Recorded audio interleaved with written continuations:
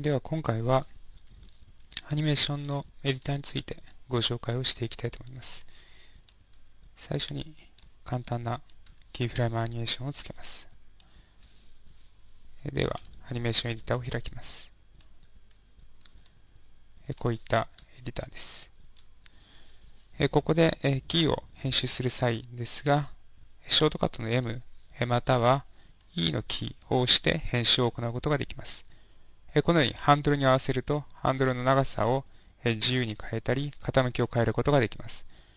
また、ハンドルが非常に他のポイントに近づいた際ですが、必ずポイントを、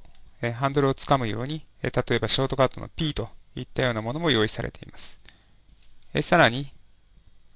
このキーの中で、統一されたスロープの向きと統一されたスロープの長さというパラメータがあります。こちらの方のチェックボックスをコントロールすることでこのようにブレイクさせることが可能です。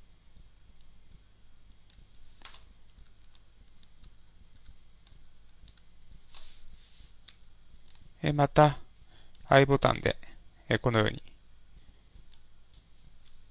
キーを追加することができます。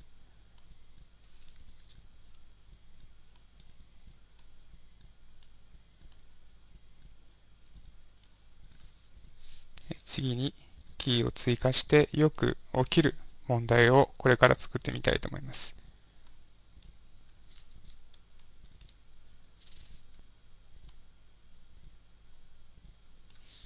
このような問題ですね。実際にキーを打っているポイントとは異なった内装が行われてしまう場合です。こういった問題によって、例えば床へのめり込みやスリップといったような問題が発生します。これらを XSI では簡単に解消することができます。変更したい箇所を選択して、キーの中から、スロープの向き0を選択します。そうするとこのような挙動を示します。では再度実行してみます。キーの中から今度は、スロープの長さ0え、ただしブレイクポイントというのを実行します。そうするとこのような挙動になります。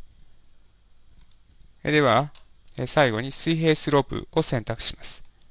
え、そうすると、え、こういった形で修正がなされます。え、このような各種オプションを使ってファンクションカーブにで、え、よく起きるような問題点を修正することができます。では、続いてですが、え、今、え書かれているのは、これはトランスレーションのカーブです。このトランスレーションのカーブに対して、さらにローテーションをこれからつけてみたいと思います。ローテーションのキーを入力します。適当に回転を加えます。フレームを移動します。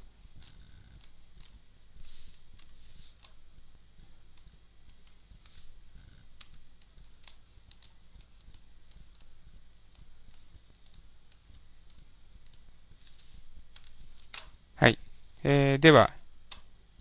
今、これが結果ですが、えー、非常によく発生する問題が現れています。えそれは何かというと、トランスレーションの場合、えこのように私が、え設定したものですと、パラメータの移動量が少ないわけです。えところが、えローテーションですと、えこのようにパラメータの移動量が非常に大きなものになっています。えそのため、え同じファンクションカーブエディターの中で表示しますと、えこのようにえ値の大きさの幅が異なることによって非常に、編集がしづらくなります。では、えこれを解消する方法ですが、ビューの中から、え正規化というオプションがあります。えこちらを実行すると、え必ずこのように0から1までの値で、えファンクションカーブを表示することができます。えこういった機能を用いて、えファンクションカーブを編集することが可能です。